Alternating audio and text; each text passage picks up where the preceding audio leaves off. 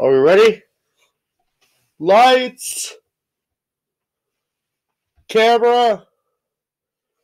Are we ready? Alright. Choose Damon. You got this. Hello, my name is Damon, and welcome to another episode of Damon's News. Now, this is a special episode as this was requested by a special friend of mine, Alicia Lyon. She loves Damon News so much she wanted to hear the weather. So you know what? I can't disappoint her. So you know what? I said, okay, let's get the weather going and let's get you all the news. Now, for tomorrow, February 27th, Monday, in the morning, it's going to be a brisk 38 degrees, so you're going to want to need a jacket. Especially you people who stand outside all the time during wait for your class to start. Stay warm, bundle up, and just and just keep your head up high and stick through that cold. Now, throughout later the day, around lunchtime, it'll be slightly warmer. It'll go from 38 to a nice 45.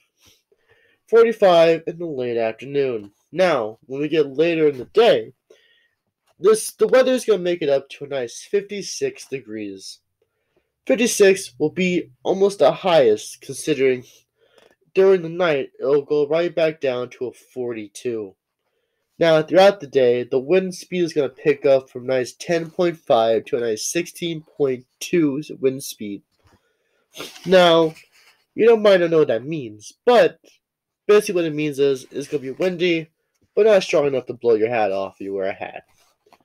Just be prepared for some cold weather tomorrow. Now, thanks to Alicia Lyon, the sponsor of this episode, we will be doing a news broadcast every single day for this entire week to see how this goes. Now, it doesn't mean I'll be your average weatherman every day. No.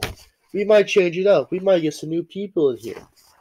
Just see how it works. I'm gonna try and expand on the newscasters. Whether that means it's me or someone new or a whole other person recording their setup.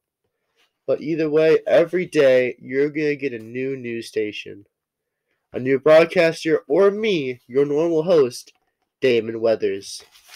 Now, thanks for that. Thanks for the news. And until then, when the skies part and the sun comes out, I'll be a weatherman. Now, this is Damon Weathers signing out. Farewell.